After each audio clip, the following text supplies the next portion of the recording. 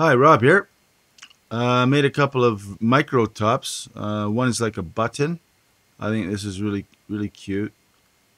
Uh, if you like saying tops that way, I think it's really cute. It's got little tiny, oops, it's got little tiny, um, if you want to call it a stem, but it's not for spinning. You spin the whole thing with your finger. And that weighs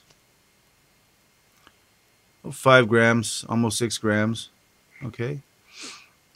There you go, 5.87 grams. And I made other, another one here. And this is just another little top. This this one is about, again, about nine and a half mil. That's about nine and a half mil diameter. But this one's kind of kind of cool, so we're gonna do a spin time on it. Oh yeah, this one just for fun.